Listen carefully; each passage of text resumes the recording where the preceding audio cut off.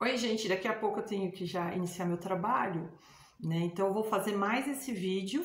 É, então eu achei completo com esse o sexto. Este é o sexto vídeo. Assistam os outros. No vídeo anterior vai ter fotos, algumas fotos dos primeiros sintomas, do bócio multinodular que eu tive. É, e da, vou ver se eu coloco da cirurgia, se, se já tá na cirurgia, se já tá algumas fotos da cirurgia no vídeo anterior, mas vou colocar depois deste vídeo, então, a, a, a algumas gravações que eu fiz no dia da cirurgia. Eu quero encerrar este, essa primeira série de vídeos é, informando a vocês que a minha intenção é que se uma pessoa assistir algum desses vídeos e puder ajudá-la, eu vou estar extremamente feliz porque alguns vídeos do YouTube me acordaram para o problema da tireoide mais do que falar com algumas pessoas e em alguns vídeos eu falo sobre este cuidado que vocês devem ter com a ignorância das pessoas. Eu vou trazer depois mais fatos, se vocês gostarem, vou trazer mais fatos que talvez esteja acontecendo com vocês, porque a gente acaba tendo uma vulnerabilidade porque está com uma doença, né? É, e assim como idosos, crianças, pessoas que estão com doenças outras, talvez câncer, tratamento de câncer, hemodiálise, elas têm muitos episódios como os que eu vivi por estar muito vulnerável em determinados momentos da minha vida.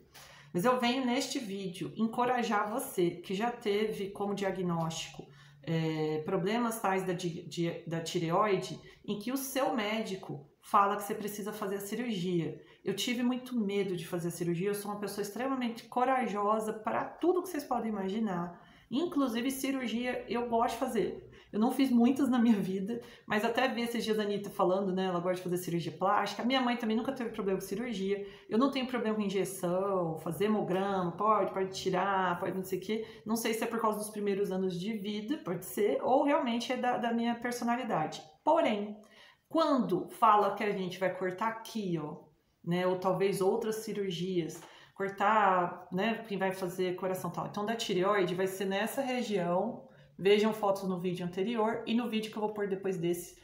Vai ser nessa região em que vocês vão ver na foto que não dá para ver mais nada.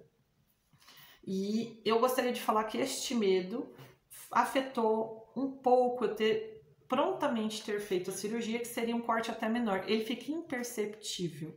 É, toda cirurgia tem consequências, mas as consequências que você já deve estar vivendo com a sua tireoide estando muito doente e já sem tratamento que dê conta de te dar uma boa qualidade de vida, não chega, você tem que colocar na balança. E eu garanto, se você tiver um bom neurocirurgião, e o que, que eu vou falar? O meu neurocirurgião, que foi o Dr. Daniel Nakamura, ele cuidou muito, ele não precisou tirar as paratireoides. Porém, eu tive três outros cirurgiões que seriam prováveis cirurgiões meus, pelo SUS, não vou falar o nome, e um era categórico, ele ia arrancar a tireoide com todas as paratireoides, mesmo sem ele ter aberto aqui. Eu tive um cuidado extremo do Dr. Daniel Nakamura e da equipe dele.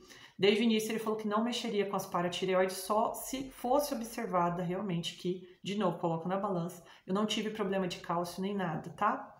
Você pode ter um pouquinho de rouquidão, você pode ficar com a voz mais grave um pouquinho, mas a cirurgia é extremamente tranquila. No mesmo dia eu ajudei uma outra paciente que tinha que ir ao banheiro, assim, pós, horas pós a cirurgia. No outro dia eu tava igual uma doidinha, achando que eu não tinha feito cirurgia nenhuma.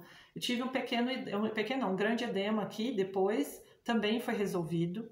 Então eu tô falando só algumas situações que aconteceram que, olha, não dá nem para falar que é uma cirurgia que você tem que ter medo. Não tenha medo. Eu entendo o medo que algumas pessoas vão ter, o receio. Aí tem uma cirurgia que você pode fazer aqui por dentro, que eles cortam aqui por dentro, aí você vê com o seu neurocirurgião que é desnecessária.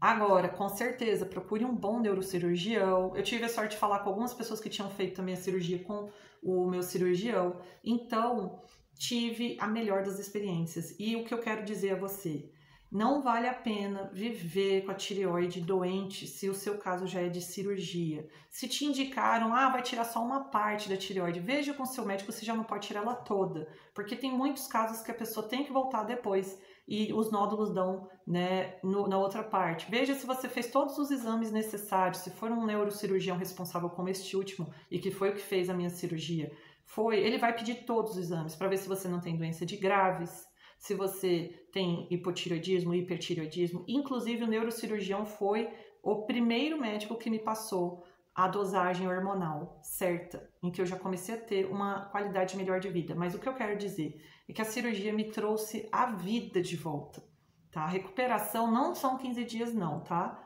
Cada um vai ter um organismo diferente, mas cuidando certinho, você vai ter uma excelente recuperação. É, perto de outras cirurgias, que toda cirurgia tem seus riscos. Os riscos são mais fáceis do hospital já resolver se você tivesse riscos posteriores. Eu posso trazer uma sequência aqui, como eu vou trazer no próximo vídeo, alguns vídeos do, do momento da cirurgia, é, sobre você que vai ter dúvida depois, você que já fez a cirurgia e nos primeiros dias notou uma coisinha aqui, outra lá, porque a gente fica muito preocupado se realmente está tendo uma boa recuperação ou não, tá? Mas façam a sua cirurgia, façam. Se você tinha medo, eu falo a você, eu tive também, e infelizmente posterguei algo que era para estar tá em perfeito funcionamento como minha vida tá hoje, tá? Ah, mas vou tomar uma medicação. Se o seu medo é porque você vai tomar uma medicação contínua para o resto da sua vida, o que eu quero dizer a você é que enquanto você está com essas preocupações outras que não estão ligadas ao seu bem-estar, mas sim a, ao público, você está tendo seu coração afetado, você está tendo intestino e estômago afetado, você pode ter um problema sério é, com uma indigestão, porque o teu organismo está todo atrapalhado. A, as funções cerebrais dando problema, você pode já ter algumas outras consequências do hipertiroidismo ou hipotiroidismo, seu olho já deve estar tá ficando um pouquinho mais para fora, se for uma dessas consequências. Você pode estar tá enfrentando problemas, outras comorbidades, tá? Que estão ligadas ao mau funcionamento da tireoide no, nos períodos frios do ano, em que podem te levar também a consequências piores, né? Porque você tem uma intolerância maior ao frio e você realmente tem uma termorregulação aí, é, termogênica, se é essa palavra, que é diferente e isso é importante ao seu organismo. Pare com essa bobeira de que vai tomar uma medicação contínua. Ai, vou engordar, vou emagrecer. Trago nos outros vídeos. Mas não tenha medo da cirurgia. Ela é mais simples do que vocês podem imaginar. No próximo vídeo eu trago aqui um pouco de como foi a cirurgia e o pós.